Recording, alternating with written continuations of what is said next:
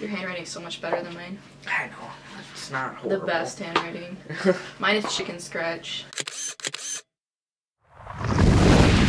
Hey guys, it's Riley and welcome to my channel on this lovely Trans Tuesday. Today I am joined here with my really awesome friend Max. He is here and we are going to do this video together. Stop winking. he's never been with me to film a video before. He doesn't know how my process works, but he's gonna find out, aren't ya? Either way, we thought we'd talk about our gender journey and basically how we figured out we were trans and things related to trans things. He is also a trans guy, which is super cool and I'm really excited to be here filming a video with another trans person. Without further ado, let's get into the video. The first thing we're gonna talk about is our self-discovery and kind of how we realized that we were trans. I was a very angsty emo teenager. I'm just kidding. I went Still through a scene phase. I'm not emo. And when I was a child, total tomboy, even though gender roles have nothing to do with you being trans. Like you could be have been the girliest child and still be trans. Which is basically the story of my life. I was a typical boy as a kid. I loved Pokemon, of course. I still love Pokemon. I love Pokemon cards, video games, any sort of video games. He basically loved like all of the traditionally like masculine childhood things. I wasn't, I didn't play sports, but I love the outdoors. I love snakes, spiders, bugs, everything. I would collect them, put them in little jars on my shelves. I had frogs in a tank in my room. Uh, my room is of course decorated by my parents, not me. So it was dragonflies and pink and purple and ladybugs. Like they did the traditionally feminine bug theme Mm-hmm. when I really wanted like the creepy crawly like bugs, Yeah, snakes. yeah. I knew that something was up my whole life. I felt like I didn't really like know I know know I was trans until much later or know that I was like a boy. I knew that there was some disconnect between myself and my body. Like I disassociate a lot. I just didn't feel like my body was mine until I started binding and I started packing, of course, and wearing masculine clothes. I started feeling more like myself. I had dysphoria, but I just discounted it as like the traditional depression. As I grew older, I tried really hard to be feminine, like to the point where I would was like overly feminine and it was, wasn't natural because I knew something was up. I knew that I just just I cut my hair eventually as soon as I could. Really short, never went back. My mom just kept telling everybody I was a tomboy. I was really unhappy. I mistake a lot of my dysphoria for depression. So as I grew older, I started exploring my gender identity. I felt free whenever I dressed masculine. I felt free whenever I bind my chest. I felt free whenever I was packing. Well, anyway, most of my dysphoria is located in the bottom, so packing was definitely a good thing for me to discover. I just came out actually to my mother a couple months ago, and it's been kind of a fight to use correct pronouns and correct name, but they're now trying their best, and I applaud them for that, and I love it. I love my name, I love my pronouns, it makes me feel good when people use them. I just feel like me again. Basically, for me, growing up, I mean, I knew from day one that I could think and comprehend things, that I wasn't exactly the traditional human being. I was very masculine as a young child, but more of feeling like not fitting in consumed my dysphoria and uncomfortableness into anger. And I was a very angry child and I dealt with a lot of anger problems and was diagnosed with like anger disorders and had to go to therapy for anger, but it wasn't really the anger, it was just dysphoria and me being uncomfortable manifested within that. And later on, like when I came out and we're seeing doctors and people who specialize in trans issues, they were telling me like that is such a huge sign and like an explanation is that you are trans and that is definitely something that could have manifested itself in anger when you were a child. See, he was just mad. I was just sad and Yeah, anxious. I was very He mad. was angry. Angry bean.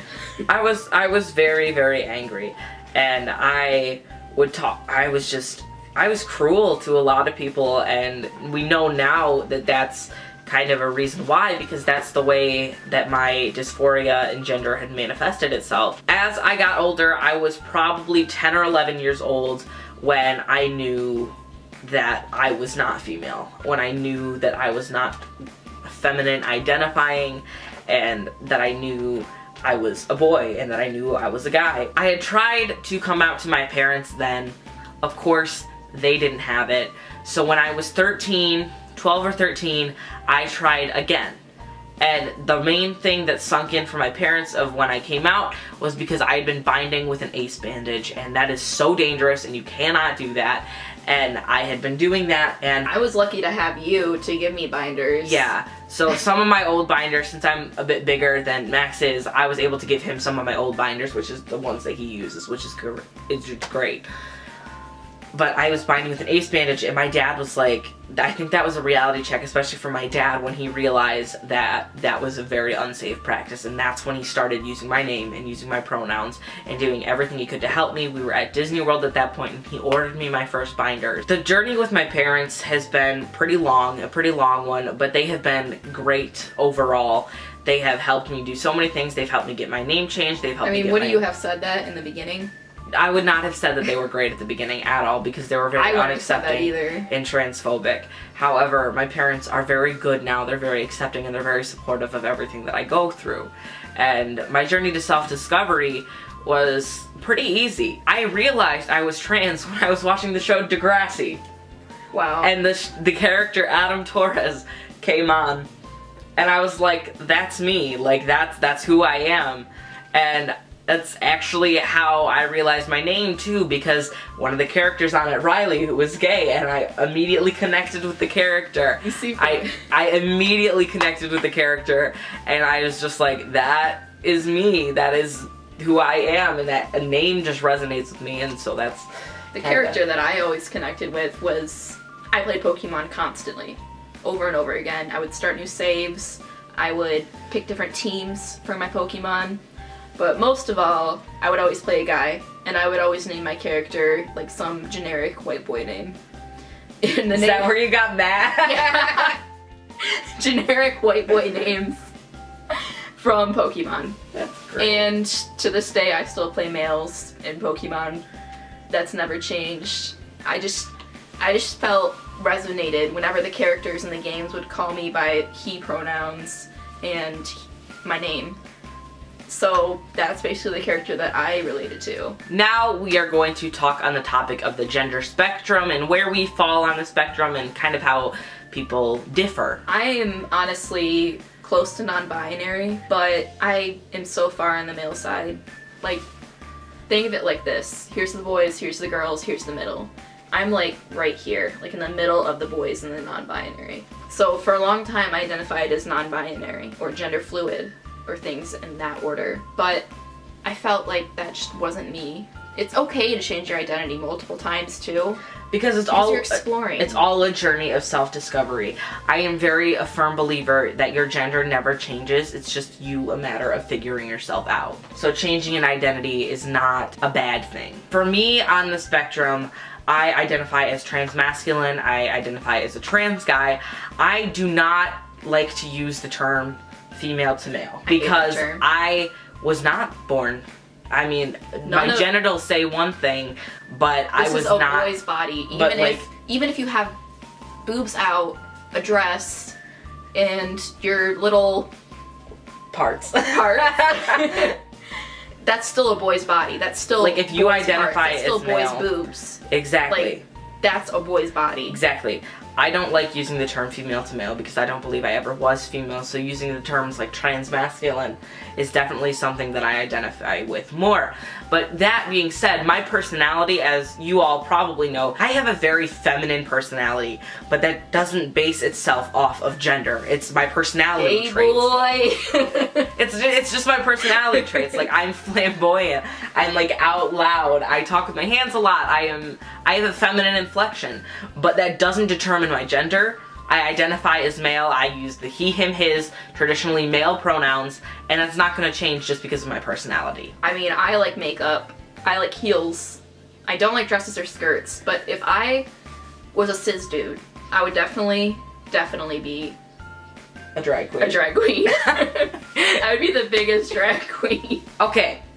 Dysphoria before and after coming out. For me, before and after coming out, my dysphoria, before it was just sadness, depression, anxiety. Like most of my depression and anxiety and sadness, but most of my depression was based off of my dysphoria, like mistaking dysphoria for depression. And it caused me a lot of anguish. I've been in and out of hospitals. I've attempted suicide more than once until I finally came to terms that that's me being uncomfortable with my body. I mean, I have an eating disorder from it. Like, I felt like if I was smaller, it'd be easier for me to bind, it'd be easier for me to identify as it without the big hips and feminine, like, shape. I just felt awful. And now that I realize it's dysphoria, I have a word for it, which people say labels aren't good, but I think it really helps you identify. If you don't like labels, that's okay, but don't shame people for using labels. So anyway, dysphoria, it's a lot heightened because I know now what I didn't know before. Most of my dysphoria is centered around my lower body. So I'm okay with my chest, chesticles. I'm okay with my chesticles. I just like to bind because I have small amounts of dysphoria on my chest. Around my lower area, definitely huge amounts of dysphoria, especially with my like facial shape, my cheekbones, my jaw. Even I see those small things and I just feel it could be better. Like, 2 out of 10 could be better. Basically for me and my journey with dysphoria is my dysphoria, like I'd said, had manifested itself in anger. So before I came out, I was very angry all the time and I didn't really, I, I didn't really realize what it was after I had come out, I had started acting so masculine, dressing as masculine as possible, wearing these nasty skater shoes. Like I've talked about this before, and I am just those. not in the mood to get into it.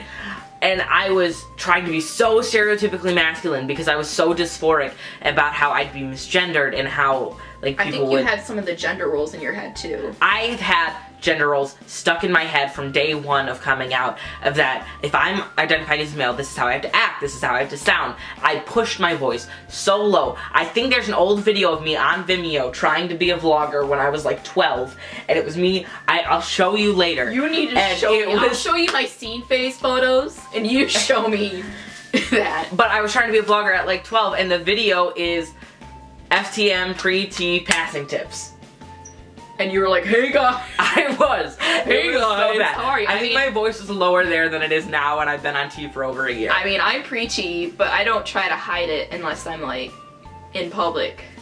Like when I'm with family and friends, I sound super feminine. But my dysphoria has gone away, especially, not gone away completely, but after I started T, especially, I noticed it going away. Like, I'm more comfortable with myself because I sound more like what I thought I'd sound like. I definitely have a more masculine presentation physically, not just like with clothes or anything. You and got those fuzzy feeling my stubble because I haven't shaved. Uh, but I feel definitely more comfortable with myself and dysphoria is not particularly an issue with me anymore. And I'm more comfortable. I don't have days where I'm like, ooh, chesticles. I mean, I do, but it's not nearly as bad as Chesties. it was. Chesties. Childhood gender roles and how they affected you. Well, as a child, heavy, I tried... Heavy topic. I tried to be as stereotypically masculine as possible with my interests, not really with my appearance, because I just kind of accepted that, because again, there was that disconnect between my body and myself, and I'd often go into a different world. I mean, that touches on mental health issues with myself, but anyway, the topic is really the gender roles and how it affected me.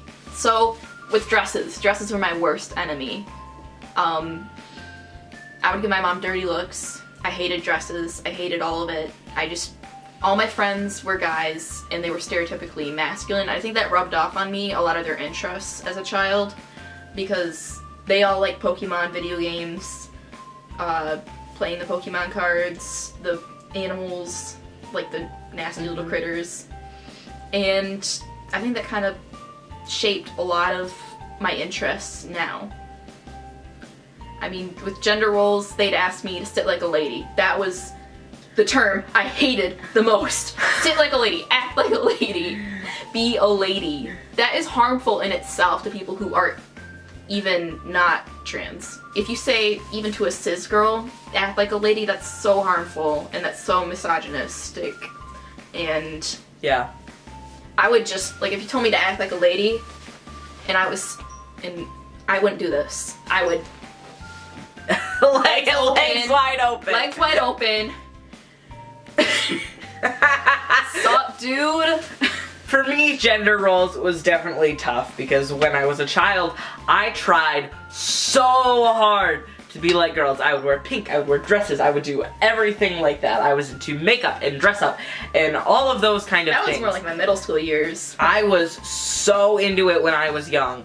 But then when I got into middle school, when I started to realize I started to do less of that, I started my emo phase, which is great because the emo phase is pretty androgynous. And so I was I was scene. I, I was pretty comfortable in my emo days. And then when I got to like eighth grade is when I started going by my name and by my pronouns and everything.